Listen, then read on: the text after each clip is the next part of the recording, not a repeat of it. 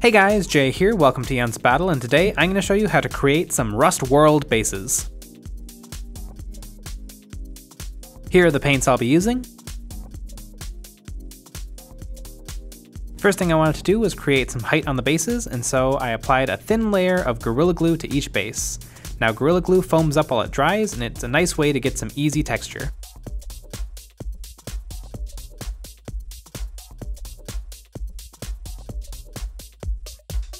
Once that was dry, I made myself a batch of texture paste, mixing together some drywall spackle, a few drops of Elmer's glue, some fine grained sand, and some black ink.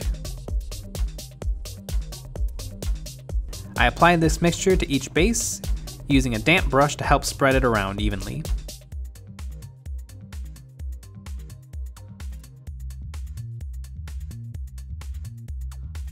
Once that was dry, I wanted to spread around some mechanical debris, and for this, I'm using some failed 3D prints and some support material from 3D printing.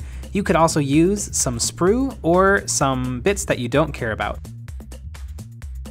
I also cut myself some small lengths of plastic card tubing, which I'm going to be using to make it look like there's some pipe sticking out of the ground.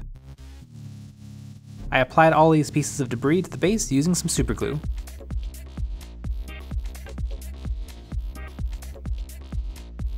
Then I primed all the models black. I'm using an airbrush, but you could also do this with a rattle can.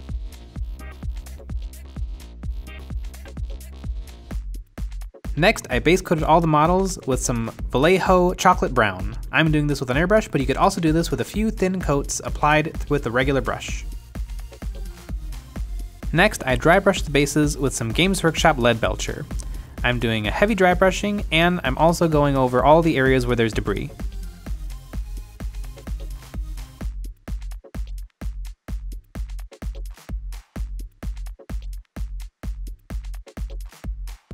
Then I did a light dry brushing of some Vallejo earth over all of the areas where there's no metal scrap.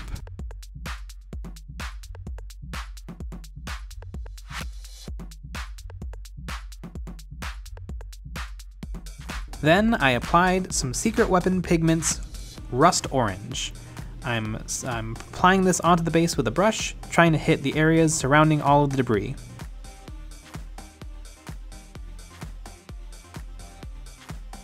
Next, I did a lighter application of some Secret Weapon Rust Red. I applied the pigments on pretty thickly, but then I knocked off anything that would come off with the brush. Now the bases are finished, and the last thing to do is to paint the edge of the base. I'm painting mine black. And there are three finished Rust World bases.